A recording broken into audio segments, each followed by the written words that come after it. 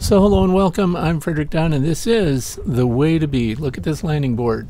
See those bits and pieces of pollen? That means that the bees inside this deep brood box have been getting into their stored pollen. Why? Because they're starving to death. They're at the top of this hive.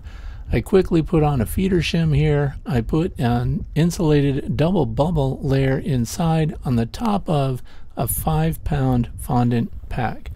I also put another double bubble piece underneath that BeeSmart lid on the outside. You can hear the bees humming inside, but they are 100% out of food. Now here's the thing. Normally I wouldn't open a hive on a weather day like today when it's freezing outside or right now in the 30s in the sun, but they're going to die. If you don't put food on, it's the end of this colony.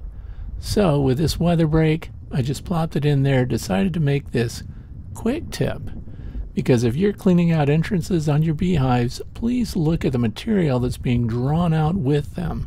If you see a bunch of pollen and detritus like that, chances are they're into their long-term stores, they're starving out, and you need to do something. Dry sugar, fondant pack, HiveAlive is my number one choice, but you put in anything you need, and opening them quickly in the cold weather is not as bad as dying. Thanks for watching.